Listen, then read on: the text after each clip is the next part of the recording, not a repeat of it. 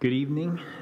Thank you so much for joining us. Um, going to continue our study through the Psalms tonight. And as a church, we've been trying to read and pray through the Psalms uh, over the course of this month. And then uh, on our Wednesday evening um, opportunities, have, have the opportunity to um, just take a look at one of the Psalms that we're praying through each week in a little bit more depth and detail and think through it together. Um, just a few announcements first. Um, one, uh, reiterate what I said last week. If, if there are questions, because this is Facebook Live, there's the opportunity to um, submit a question uh, in the feed, and um, the guys can, can tell me about it, and uh, I can do my best to answer that question in, in the, our discussion tonight. So there's that opportunity. So feel free to submit questions as we go, and I'll do my best to answer those. Um, I sent an email about this yesterday, the day before, I'm losing track of time now, but uh, about just interest that, I, that I've received uh, for, for being able to talk about what we're uh, reading and praying through in the Psalms, whether that's just things you're seeing as we read and pray through the Psalms or um, uh, questions that you have. And so wanted to uh, create an opportunity for that kind of conversation while we're still far apart. And so um, Many of you have probably heard about Zoom lately. That's a really great platform for this. It's pretty intuitive. And so, um, if you haven't responded to the email yet, or maybe you're just hearing about it for the first time in this announcement now, and you're interested in um, participating in that kind of a more personal, uh, discussion oriented um, look at, at the Psalms based on what we're reading and praying, um, please let me know. Uh, text me or email me, and, and um, we'll work out details um, once I get a little bit more, uh, once I get feedback from everybody. So, um, tonight our plan is to look at Psalm 44. Um, initially, I'd had, had selected Psalm 62, but after praying through it again on Monday, um, it just it just kept thinking through what that psalm was about and the implications of that psalm and how it's connected to the gospel. And so, um, really, I, I, woke up this morning and started to work through Psalm 62 to get ready for tonight. I like, nah, we really need to do Psalm 44. Um, Psalm 44 has become one of my favorite Psalms over the last couple years. Um, not because it's so inspirational and pumps you up like some of the passages of hope that we looked at um, on Sunday, but because it's such a realistic and authentic expression of our suffering and our grief and our hardship um, it, it really is a, is a snapshot of normal life when it comes to our heartache and our prayer life and our working through things in faith. And so it really just meets us in a really real, authentic place. So I've really come to love and value. And as we'll see, it really points us to the gospel and connects us to the gospel in a really profound way. And so we do, we'll see some hope there. Um, let's begin in prayer and then we'll work our way through this psalm. Father, thank you for um, the time now that we can be in your word and, and um, come together in, our, in, in spirit, in our thinking, in our learning. Um, in our desire to grow and hear your wisdom and hear your uh, ways. Please give us all wisdom, give us understanding, deepen our faith, deepen our knowledge of you now. May we grow in unity, grow in love to your honor and glory. In Jesus' name, amen. All right, if you would open up to Psalm 44. Psalm 44. I want to just read through that. And, and as I've encouraged along, let's, let's be reading through this prayerfully. Oh God, we have heard with our ears, our fathers have told us the work that you did in their days, in the days of old. You, with your own hand, drove out the nations, then you planted them. You afflicted the peoples, then you spread them abroad. For by their own sword they did not possess the land, and their own arm did not save them. But your right hand and your arm and the light of your face, for you favored them. You are my king, O God. Command salvation for Jacob.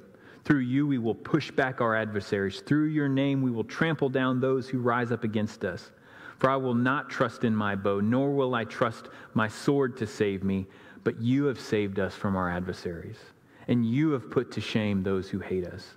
In God we have boasted all day long, and we will give thanks to your name forever. Yet you've rejected and brought us to dishonor, and do not go out with our armies. You cause us to turn back from the adversary. You give us as, uh, and those who hate us have taken spoil for themselves.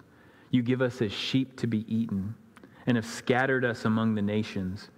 You sell your people cheaply, and have not profited by their sale. You make us a reproach to our neighbors a scoffing and a derision to those around us. You make us a byword among the nations, a laughing stock among the peoples. All day long, my dishonor is before me, and my humiliation has overwhelmed me because of the violence of him who reproaches and reviles, because of the presence of the enemy and the avenger. All this has come upon us, but we've not forgotten you. We've not dealt falsely with your covenant. Our heart has not turned back. Our steps have not deviated from your ways. Yet you've crushed us in the place of jackals and covered us with the shadow of death. If we'd forgotten the name of our God or extended our hand to a strange God, would not God find this out? For he knows the secrets of the heart. But for your sake, we're killed all day long. We're considered as sheep to be slaughtered. Arouse yourself. Why do you sleep, O Lord? Awake, do not reject us forever. Why do you hide your face and forget our afflictions and our oppression? For our souls sunk down into the dust, our body cleaves to the earth. Rise up, be our help, redeem us for the sake of your loving kindness. This psalm is unique um, in, the, in the whole book of Psalms. Um, it's a lament, which is not unique, um, but it's unique because it ends without any resolution. Um, it's one of three psalms that end in that way Psalm 44, Psalm 88, and Psalm 89 end with no resolution. What I mean by that is uh, most of the laments, even if they start out in darkness and gloom and perplexity and, and doubting and, and suffering and all this, usually there's some turn, some refreshing, some answer that's given, whether it's a direct answer from God or just a, a, uh, you know, some, maybe a change in circumstance, but often not a change in circumstance, but, but maybe some word from God, or, or most often just their perspectives changed. And so the psalm will end in uh, joy or the anticipation of praise, some, some, some uh, word of, of, uh, of hope. Uh, psalm 44, Psalm 88, Psalm 89 doesn't end that way. Um, it ends, and there's still this sense of, God, are you, are you there? Do you see? Um, have, you, have you forsaken us? Have you abandoned us? It, it ends like Psalm 22 begins, My God, my God, why have you forsaken us, right? So let's, let's walk through this psalm. It's, it's, it's really powerful. And I, and I, I want to go ahead and point this out too. Um, you know, you think about that ending and, and, and, think about how, how real and true that is to our own circumstances. Because the reality is, we pray and it's not like we just get an answer right away, right? We're experiencing suffering, and it's not like the suffering just goes right away. We deal with cancer for a really long time. We deal with job loss for a really long time. Um, things like pandemics that we're experiencing now, they don't just end in a in a the blink of an eye. We we we we stay in this situation, and so what happens is we're we're continuing in our suffering, it seems like God's not there, not hearing, not seeing, not answering, at least as far as we can tell. And so, how do we navigate that? And Psalm 44 is just really helpful for us in that way. Look at the first three verses. Um, what we see in these first three verses of Psalm 44 here, here are the people and their hearing of God's great works in the past. Listen again to these. Oh God, we've heard with our ears, our fathers have told us the work that you did in their days, in the days of old. You with your own hand drove out the nations, then you planted them, you afflicted the peoples, then you spread them abroad. For by their own sword they did not possess the land, their own arm they did not save them, but your right hand and your arm and the light of your presence, for you favored them. First thing, notice who the speaker is. Um, oh God, we have heard with our ears. This is the first time so far in the Psalms um, that it's not an individual prayer uh, or an individual voice leading in prayer, but it's, it's the prayer of the congregation. There'll be a couple times in the psalm where an, event, an individual will speak up, and that could be the worship leader. Most likely, someone like the king, who is a, the representative of the people, who will speak. But for the most part, this is a congregational lament. So this is the church crying out together in prayer to God. But they begin by looking back or, or, or recalling all that they've heard, right? And, and uh, of, of God's powerful works to save, to rescue, to provide, to bless that they've heard in the past. This is um, uh, most. Uh, specifically talking about the days of Joshua, right? When when uh, God, uh, uh, when Joshua led the people and God gave them great victories to to drive out the nations out of the land and um, uh, free them and, and, plant them in that land. And, and you think about the emphasis that's placed in the book of Joshua, for example, when uh, the, the, the, very first victory they're given at Jericho in Joshua 6, what's the point? Um, you guys are going to do this silly thing just to show it's not by your strength, your might, your battle strategy, but it's by my right hand, it's by my power that I'm giving you this city, right? And and and the overwhelming emphasis throughout that book is this is of the Lord. This is a gift of the Lord. This victory is through the Lord. And that's exactly what the, the, these Israelites are seeing right now. They're, they're, they're, they're recounting all that they've heard about God's salvation and God's mighty works. Um, your own hand, you planted, you spread them abroad. Um, it wasn't by their sword, it wasn't by their own arm, but your right hand, your arm, the light of your face. And then he underscores, for you favored them, or you, you, you had love for them. And you'd see the same kind of point in Deuteronomy 4 and chapter 7, a little bit later in chapter 9, where God's emphasizing to the people of Israel, it's not because you're so great or you're so special, but it's because of the promises I made to your fathers, and it's because of my love for you. So, so in, in effect, a, a point of comparison here, it's like these people have gone to church, they've gone to Bible class, they've heard the stories, and they're recounting them now. And then look at 4 through, through 8. You are my king, O God. Command victories for Jacob. Through you we will push back our adversaries. Through your name we'll trample down those who rise up against us. For I will not trust in my bow, nor will my sword save me, but you've saved us from our adversaries, and you've put to shame those who hate us. In God we've boasted all day long, and we will give thanks to your name forever. Do you see what they're doing in these verses? They're putting their trust in God they're putting their hope in God. They're doing, they're, they're, in other words, they've heard what God has done in the past and they're responding with faith and hope in the present. Understand that is exactly right. I mean, th- think about how many sermons you've heard um, on the faith of Abraham or Joshua or David or Daniel or Shadrach or Meshach or, and Abednego, or, and, and, and what's the message? Trust, right? You know, in, in the midst of danger, put your faith and your hope and your trust in God. And that's exactly what these people are doing, and it's awesome. It's, they're, they're responding perfectly. You see such an honest heart here where they've heard about God's mighty works, and, and they've responded again in faith and in hope. And then notice at the end of verse 8, we, Selah. Uh, I, I, don't think I've commented on that word Selah so far. Um, you, will see it in the Psalms quite a bit, and it's usually out to the side because it's, it's, it's more there as a musical note. Remember, the Psalms are not just prayers, but they're also songs to be sung and, and engaged in in worship. And, and so this is, this is uh, you know, one of the, the kind of musical notes, like if you open up our songbooks, you'll see like FF or PP or little notes crescendo and things like that. And, and there's some uncertainty on what this means, but most scholars tend to think this means something like pause. And I want you to think about that for just a second. So, so the idea that we're reading and we're thinking through, and then all of a sudden we're told, pause. Just stop and take in everything you've just heard, read. Let that work, work on you a little bit. So I want to do that just now. Think about what we've just seen. Here are people who have heard about God's mighty works, his great works, his saving works, um, what he's done for his people in the past, and they've responded in trust and in hope for God to save them and act. He is their king. They will not trust in their bow. They trust in him. They expect him to be the one who gives them victory in battle. Pause. Is that good? Is that right?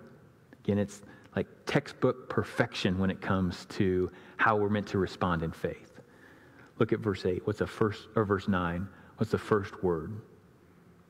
My, my translation says yet or but. You've rejected and brought us to dishonor. And do not go out with our armies. You cause us to turn back from the adversary, and those who hate us uh, have taken spoil for themselves. You give us as sheep to be eaten. You've scattered us among the nations. You sell your people cheaply. You've not profited by their sale. You make us a reproach to our neighbors, a scoffing and derision to those around us. You make us a byword among the nations, a laughing stock among the peoples. All day long, my dishonors before me, and my humiliation has overwhelmed me because of the voice of him who reproaches and reviles, because of the presence of the enemy and the avenger. And so, where they had placed their trust and their hope in God to save, that hope has been shattered in the face of devastating loss and now shame. Can you, can you just see how their world has been so rocked? They did everything right. They put their trust in God, they put their hope in God, and He's he didn't go with them in battle. They were defeated. They, they, were, they, were, they were rocked, and now uh, they're, they're just this laughing stock among the people, right? Yeah, you're the people of Yahweh. You, you worship Yahweh. You put your trust in Yahweh. Yeah, He's there to deliver you, right? And this kind of thing would have happened in the, in the, the exile. Uh, Ezekiel picks this up that, that when God brought them into exile, that was profaning his name, and you could, you could understand how, how people would, would elevate the gods of, Babylon because they brought a victory over Yahweh, or at least that's how it would have been perceived. And so they, they, they, these people have become a laughing stock. They've become a mock, been, been shamed and mocked and, and been defeated. And so that hope's been shattered. And if this were the period of the judges, for example, or you know maybe some of the, the stories early on in the book of Samuel, um, this would make sense, right? Because you, what was the pattern? God would, would deliver them from their enemies and they'd be safe and they'd experience this peace, period of peace. And then Israel would go into idolatry. They'd turn their back on God. God would give them over to their enemies. They would be brought low. They would suffer. And then in that suffering, they'd open their eyes. They'd lift their heads. They'd turn to God. Then God would, would bring them salvation and that cycle would start all over again or, or spiral downward into more and more evil. Um, but notice that's not what's going on here. Verse 17 All this has come upon us, but we've not forgotten you. We've not dealt falsely with your covenant. Our heart has not turned back. Our steps have not deviated from your way. Yet you've crushed us in a place of jackals and covered us with the shadow of death. If we'd forgotten the name of our God or extended our hands to a strange God, would not God find this out? For he knows the secret of the heart. But for your sake, we're killed all day long. We're considered as sheep to be slaughtered. What we see in verses 17 through, through 22 is perplexity. It, it's, it's not making any sense to them. It's not adding up. You see perplexity and you see this insistence on innocence, right? They have been faithful to God. They have kept the covenant. They've not gone away into idolatry. They've not gone the way into injustice. Um, and, and, and, um, and unless we hear sort of Reformation language or, or assumptions in this, they're not claiming um, sinless perfection or anything like that, but they're claiming covenant faithfulness. They, they, they know what God's expected of them and they've lived faithfully. And, and the people of God are supposed to be able to say that and know that they've lived faithfully to the covenant. And they've done this, right? They, they, they've not forgotten him. They've not left him. And they say, why would we even think of it? It's not, you know, if we had done this, he knows our hearts. He, he, he, he would see right through us. So what, what's going on? So can you appreciate their confusion? Can you appreciate their despondency, the despair, I mean, the, the, the, the, their worldview, their foundation has been just ripped out from under them. right? They, the, the foundation of faith in the first three verses, this is how God acts for his people. Because he loves them, he delivers. He's with them. He, and, and, and, and, and we responded in faith and, and hope. Um, but God's left us. He's not there. He's not helped us. He's allowing us to suffer. He's allowing us to experience loss and death and shame. Um, and so, what gives? Again, think about that for just a minute. I don't want to rush past this point. Appreciate the weight of this. Again, this isn't suffering for their own sinfulness. This seems to be what we would recognize um, as like what Paul would say this present evil age. Just the reality of suffering in this world. They're experiencing that, but it's not lining up with the promises that God made uh, in, in the covenant, at least from what they can see. And so look at what they're saying in verses 23 and following. Arouse yourself. Why do you sleep, O Lord? Awake, do not reject us forever. Why do you hide your face and forget our affliction and our oppression? For our souls sunk down into the dust. Our body cleaves to the earth. Rise up, be our help. Redeem us for the sake of your loving kindness. Notice where they find themselves. Look at, look at verse 23 again. Arouse yourself. Why do you sleep, O Lord? What is that? What does that line remind you of? What story um, in, the, in the scriptures does that line remind you of? Think back to the story of Elijah at Mount Carmel for just a minute. When the prophets of Baal lined up against, the, the 450 prophets of Baal lined up against the single prophet of Yahweh, what was Elijah's taunt for the prophets of Baal? Maybe he's on a trip. Maybe he's in the bathroom. Maybe he's asleep.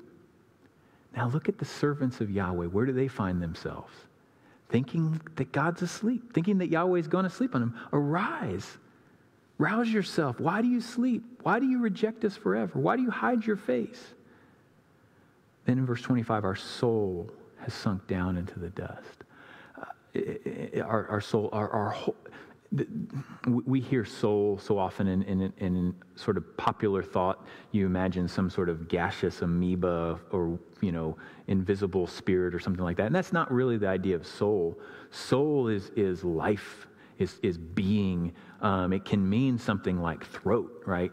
Um, but, but, but comes to take on the idea of our, our whole life, our whole being. And he says, our, our, our soul has sunk down into the dust.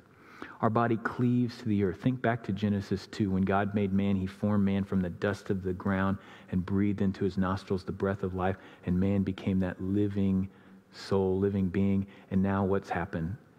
They've returned to the dust, and it's just groping and groaning there in the dust as, uh, of death. Rise up, be our help, redeem us for the sake of your loving kindness. And that's how the psalm ends no um, change in circumstances, no um, word from the Lord. They, God didn't send a prophet right away to, to say, Your prayer's been heard. Um, he did that with Hezekiah, right? Isaiah runs to him and says, Here, you, you know, the prayer's been heard. Um, th- these guys don't get that. No, no, no change in circumstances, no answer, no response, no, no shift in perspective like, oh, here's the, here's the answer, here's why things aren't working out for us. Just suffering, loss, unexplained suffering and loss and death. And so the psalm ends with questions and with cries. So, what do we do with that? First, again, recognize that's so often true to our circumstances, right? We don't just pray that God would heal our cancer and it's gone all of a sudden. We don't just pray that God would take away the coronavirus and it's just gone. We realize that there's times that we are in the midst of it and all we can see is what's in front of us. So, what do we do? So this Psalm 1 helps us process those, those times. And again, just appreciate the fact that there is no answer given right away. And we don't know what happened later. Did, did God send a prophet later? We don't know what happened to, to these people. But I do want us to, to recognize God gave an answer to their suffering in a different way, in a different time. Um, like Job, right? Uh, Job, God responded to Job, but God didn't explain his suffering, right?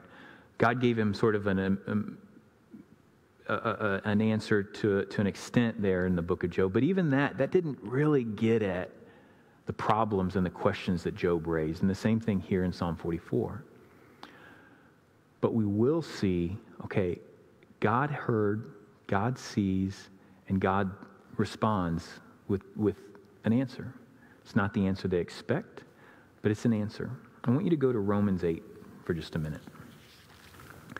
This is a passage we looked at on Sunday, so it's a really great connection from that standpoint. I want you to go to Romans 8. And um, I want to I want to read this. You, will see the direct connection in just a bit.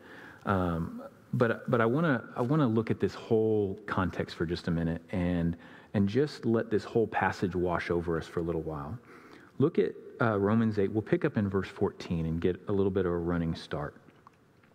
For all who are being led by the Spirit of God, these are the sons of God.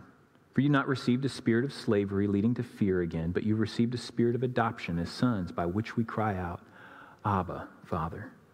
The Spirit Himself testifies with our spirit that we are children of God. And of children, heirs also, heirs of God and fellow heirs with Christ, if indeed we suffer with Him, so we may also be glorified with Him.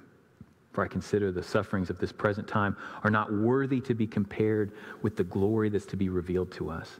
For the anxious longing of the creation waits eagerly for the revealing of the sons of God. For the creation was subject to futility, not willingly, but because of him who subjected it, in hope that the creation itself also would be set free from its slavery to corruption into the freedom of the glory of the children of God. For we know the whole creation groans and suffers the pains of childbirth together until now. And not only this, but also we ourselves, having the first fruits of the Spirit, even we ourselves groan within ourselves, waiting eagerly for our adoption as sons, the redemption of our body. For in hope we've been saved, but hope that is seen is not hope. For who hopes for what he sees? But if we hope for what we do not see, with perseverance we wait eagerly for it. In the same way, the Spirit also helps with our weaknesses, for we do not know how to pray as we should, but the Spirit Himself intercedes for us with groanings too deep for words. And He who searches the hearts knows what the mind of the Spirit is, because He intercedes for the saints according to God.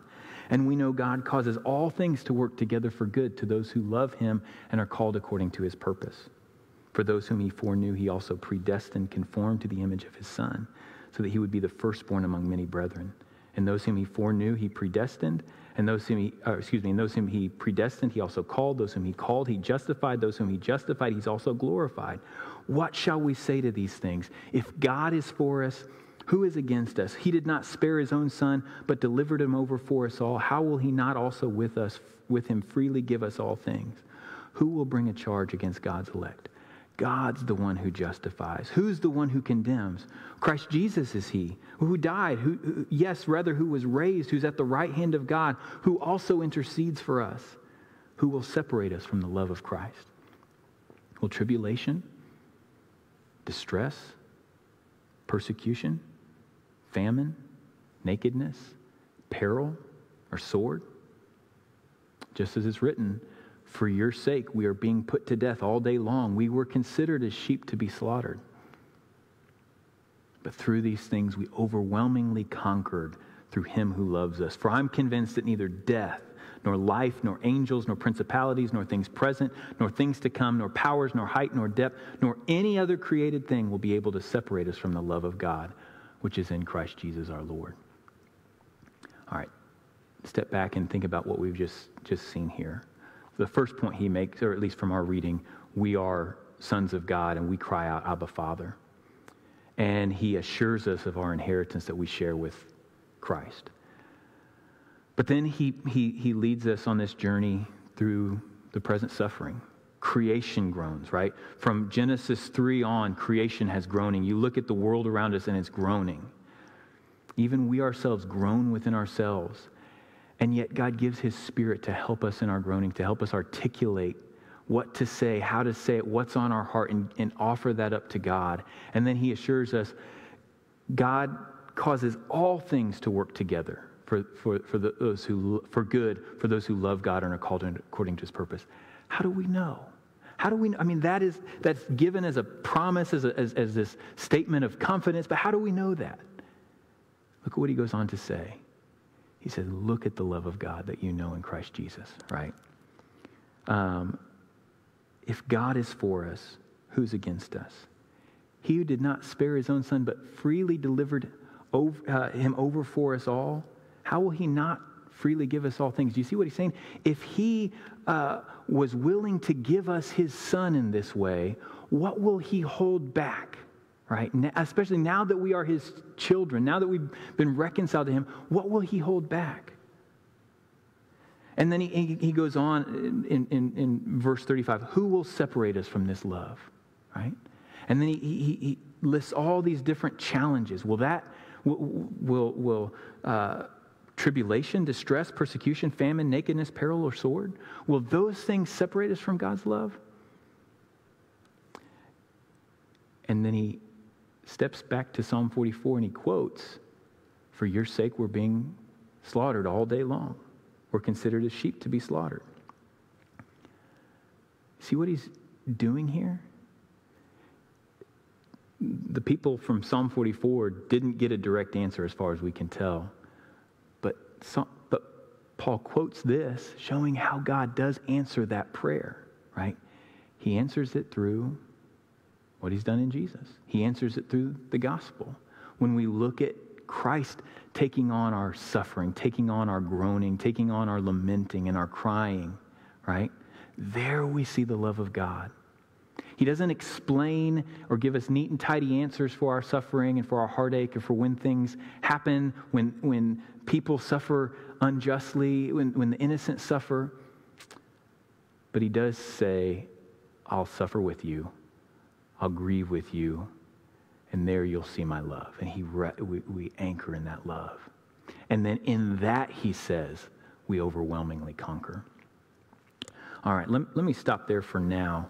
Um, in just a second, I want to be able to step back and, and share just a, a little bit in terms of um, uh, a little bit of uh, take home points for us. Um, but first, the questions come through. Uh, is it sinful to question or even blame God in our darkest hour? Um, the, the, short answer is, is no.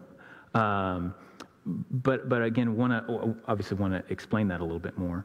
Um, one, uh, I, I, we want to be mindful of what that what that looks like, right? What, what we're seeing here is not a blaming God in terms of ascribing evil to him in a, in a blasphemous way, but it is, is the, the, the basis for Psalm 44 is acknowledging he is God, he is able, he is king, and so it's not so much blaming him as ascribing him uh, evil, but it's, it's crying out, um, trying to understand why he's done this. When, when, when, it, it, when he, he uh, credits when they credit God as the one who's slaughtered them or, or handed them over or sold them cheaply, um, that's recognizing that ultimately He is their sovereign Lord, and and whether or not He was active in, in the same way we would think of Satan doing something versus God doing something, um, we recognize that He is ultimately Lord of heaven and earth, and no matter where, no matter how you slice it he's ultimately responsible because he's, he's God. And so that's not blasphemous because it's not ascribing evil to him, but it's searching through and trying to understand why. Um, again, you look, you look back at, at Job and um, you, you see the same kind of thing. And, and I think we could probably say there's probably a place in there where Job crossed the line where he is ascribing injustice to God himself. But what's interesting is God doesn't rebuke Job, right?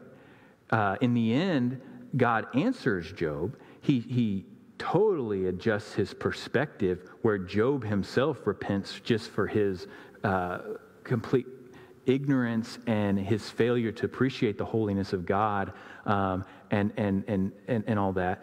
But, but God himself, um, he rebukes Job's friends uh, for their misguided theology and, and, and all that, but he doesn't, he doesn't rebuke Job. Um, going back to the, to the Psalms, the, reality is that God's given us these Psalms precisely to teach us how to do this in the right way, right? How to, how to navigate those questions in a way that is faithful, that's not um, uh, letting doubt reign or letting uh, faithlessness reign, letting, letting, you know, again, ascribing evil to God. But, but these Psalms uh, guide us in that, in that process. So, so again, as long as we're defining question God, blame God, um, as long as we're defining those terms the same way, you know, the answer would be no, because the, the, these kinds of questions abound. And, and, and here's the, let me add one more point to that. And, and here's the sticking point where the Psalms are so powerful and helpful for us in this. What we're seeing is um, profound honesty.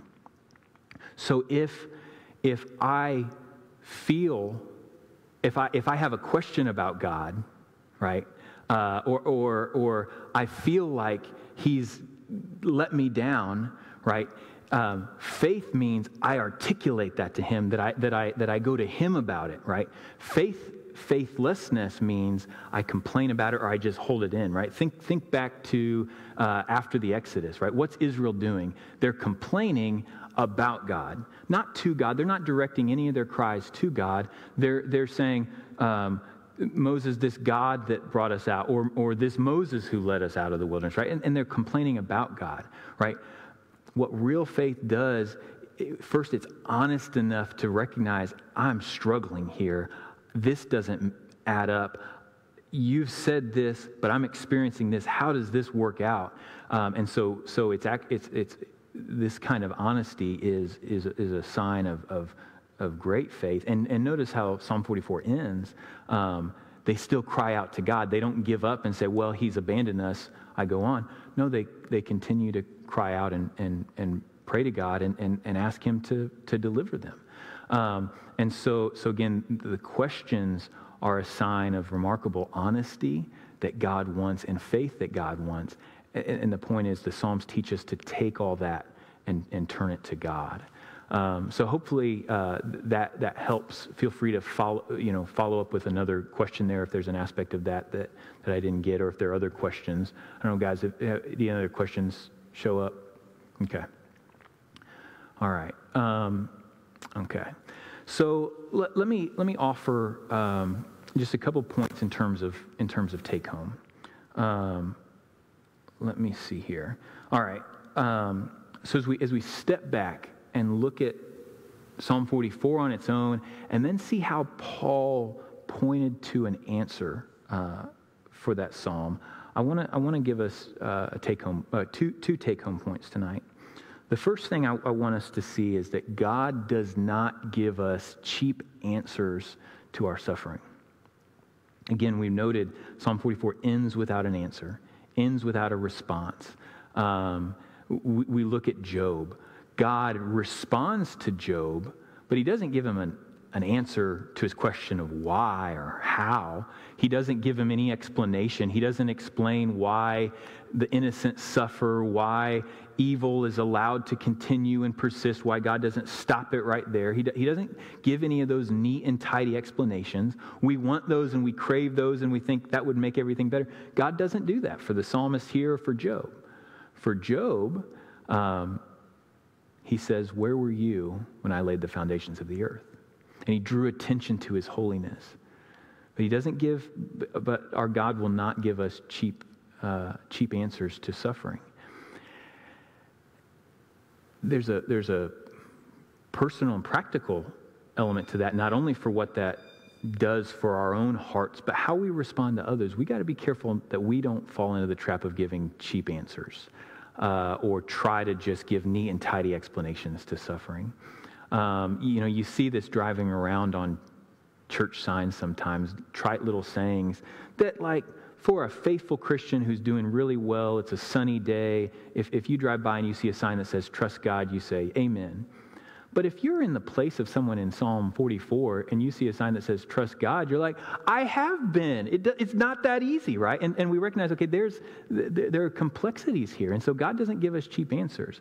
I read an article last week uh, that was published in Time magazine. Uh, let me just share the title. Uh, the, the title was Christianity Offers No Answers About the Coronavirus. It's not supposed to.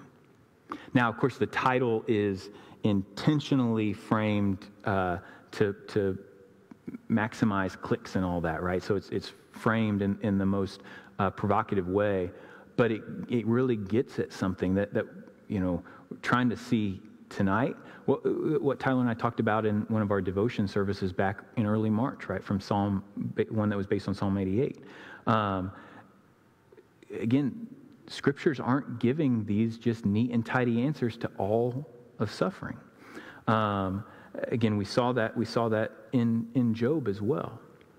So so point one tonight, God does not give us cheap answers to suffering. But point two is the gospel is God's answer to suffering. Specifically, that God grieves with us and God suffers with us. Look at Jesus for a second. I mean, again, think about what we see in him, where he uh, condescended, right? He took on flesh. He became flesh and dwelt among us and, and, and lived in this good world that God had made that has become corrupted by darkness and evil. And he walked among it and he experienced it. And that, that evil heaped up on him in terms of persecution, uh, in terms of rejection. He was spit on, he was mocked. He, he took on the kind of shame that we see in Psalm 44, even more so. He took on the kind of suffering and loss that we see in Psalm 44, and even more so. And so he, he, he, he sang these psalms not only in synagogues and in, in, their, in their own times of worship, but very, very poignantly in his own life when he's praying in the garden um, the night before his death and he's crying out, Abba, Father. Or, or um, you think about some of the quotes that he has on the cross and how he's drawing on the Psalms there and the laments in particular there. My God, my God, why have you forsaken me? And so he's joining us in our suffering, he's joining us in our grieving, in our lamenting, in our crying out. And so recognize that's the answer God gives. It's not a neat and tidy explanation. It's not a formula that we can just grapple with and, and say, like, okay, so this is the reason. No, but, but, but yet we look at the cross and we see he, he hears, he sees, he knows what's going on, and he cares.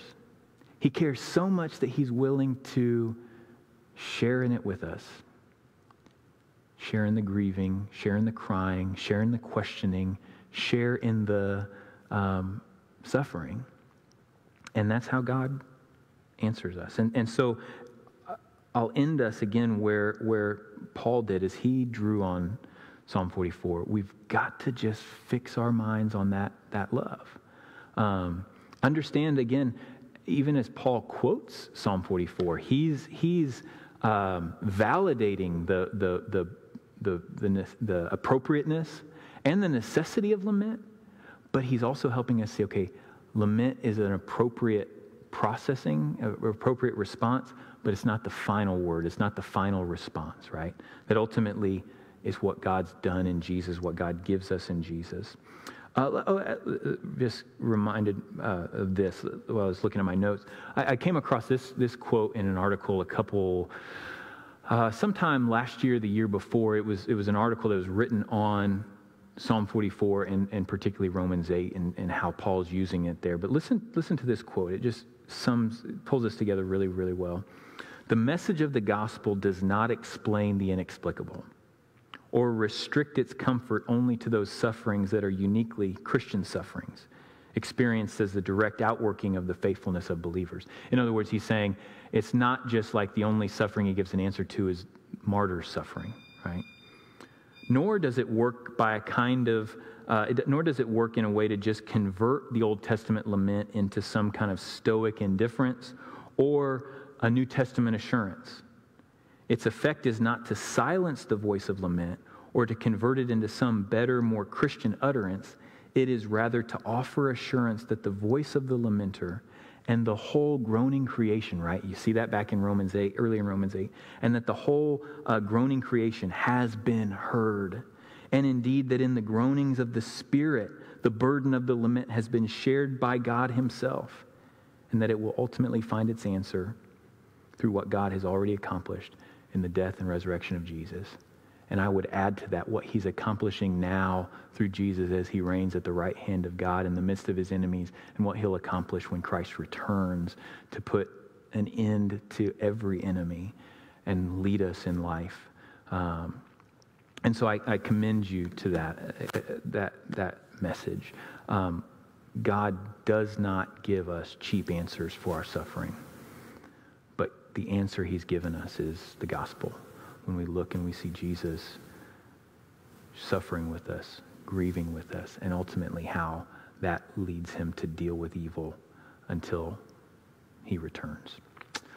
What I'd like to do as we close is um, pray through this psalm with you. And then I also like to pray through uh, parts of Romans 8 with you as well and bring all this together. And then um, uh, share some extra prayers for us as a church uh, in this moment as well. If you would, please, please pray with me. Oh God, we have heard with our ears. Our fathers have told us the work you did in their days, in the days of old. You with your own hand drove out the nations. Then you planted them. You afflicted the peoples. Then you spread them abroad. For by their own sword they did not possess the land their own arm did not save them, but your right hand and your arm and the light of your presence, for you favored them. You are our King, O God. Give us salvation. Through you, we will push back our adversaries. Through your name, we will trample down those who rise up against us. For I will not trust in my bow, nor will my sword save me. But you saved us from our adversaries. You put to shame those who hate us. In God, we've boasted all day long, and we will give thanks to your name forever. Yet it looks like you've rejected us and brought us to dishonor and have not gone out with our armies and caused us to turn back from the adversary, and those who hate us have taken spoil for themselves. You give us as sheep to be eaten and have scattered us among the nations. You sell your people cheaply and have not profited by their sale. You make us a reproach to our neighbors a scoffing, a derision to those around us. You make us a byword among the nations, a laughing stock among the peoples. All day long, dishonors before us, humiliation overwhelms us because of the voice of the reproacher and the reviler, because the enemies abound. All this happens, but we've not forgotten you. We've not dealt falsely with your covenant. Our heart's not turned back, our steps have not deviated. Yet you've crushed us and covered us in the shadow of death. If we've forgotten you, if we've been idolaters, covetous, you'd find out. You know the secrets of our heart. But for your sake, we're killed all day long. We're considered as sheep to be slaughtered. Arouse yourself. Why do you sleep, O Lord? Awake, do not reject us forever. Why do you hide your face and forget our affliction and our oppression? Our souls sunk down to the dust, our body cleaves to the earth. Rise up, be our help, and redeem us for the sake of your loving kindness. Father, thank you for letting us cry out in this way. When we feel abandoned, when we don't feel your presence, when suffering abounds and, and it doesn't fit. We don't understand it. We're struggling. You give us the opportunity to groan and to cry out. Creation groans and we groan, and you've given us your spirit to intercede with groanings too deep for words, to groan on our behalf when there's a longing, when there are questions, when there's struggles deep within us that we don't even know how to articulate. And Father, thank you that you answer. Not right away, not in the ways that we necessarily want or expect, but your answer is so, uh, so profound and so powerful. You do love us. You've, you hear our suffering. You hear our crying. You see it. You care. You, you, you share it with us. You've taken it upon yourself. And you join us in our lament. You join us in our heartache. We see this in Jesus. When he cried out in the garden, when he cried out on the cross.